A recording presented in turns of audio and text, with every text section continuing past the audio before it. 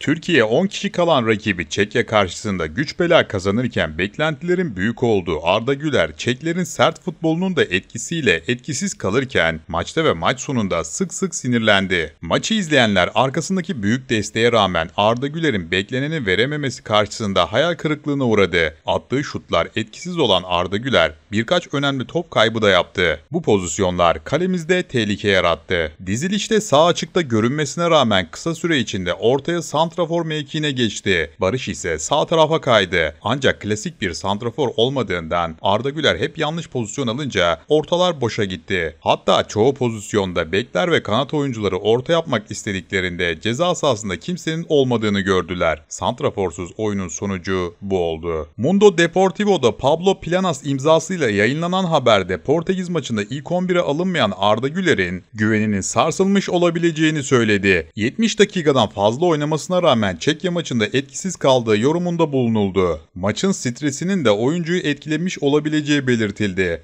Maç sonunda Çori ile yaşadığı tartışmaya da dikkat çekildi. 10 kişi kalmış rakip karşısında Arda Güler bekleneni çok altında kalarak maçın erken kopamamasının nedenlerinden biri oldu. Montella'nın Arda Güler'in sakatlanma riski olduğu yönündeki açıklamalarını da unutmuyoruz. Sakatlanma ihtimali de onu olumsuz etkilemiş olabilir. Maçın bitiminde yaşadığı tartışmada ise sarı kart gördü. Arda Güler'in kalitesi tartışılmaz. Ancak oyundaki pozisyonunun doğru seçilmesi ve Arda'nın da buna riayet etmesi gerekiyor. Bundan sonra oynayacağımız maçların telafisi yok. Çekya maçının son düdüğü sonrası saha içerisinde büyük bir gerilim yaşandı. Kartların havada uçuştuğu olaylar sırasında sakin kişiliğiyle bilinen genç yıldızımız Arda Güler de sinirlerine hakim olamadı. Suçek ile bir tartışma yaşayan genç yıldız o esnada sinirlerine hakim olamadı. Zafer kutlaması yapacağımız esnada Suçek'in Ferdi Kadıoğlu üzerine yürümesi üzerine antrenörümüz Selçuk Şahin, oyuncularımız Altay Bayındır, Kerem Aktürkoğlu ve Arda Güler de takım arkadaşlarını korumak için adeta seferber oldu. O anlarda sessiz sakin yapısıyla bilinen Arda Güler'in çileden çıkması da dikkat çekti. Rakip futbolcuya küfreden milli futbolcuya takım arkadaşları güçlükle sakinleştirirken Arda Güler de maç sonunda sarı kart görenler kervanına katıldı. Türkiye milli futbol takımı Çekya maçı öncesi antrenmanda Arda Güler Montella ile konuşurken ilginç bir olay yaşandı. Real Madrid'de sezonun bitmesinin ardından milli takım ile Euro 2024'te de mücadele eden Arda Güler 3 maça çıkarken Gürcistan maçında muhteşem bir gole imza atmıştı. Arda Güler'in ismi geçen sezon sık sık transfer iddialarında yer alırken Real Madrid son kararını verdi. İspanyol basınından Relevo'da yer alan habere göre Real Madrid teknik heyeti yeni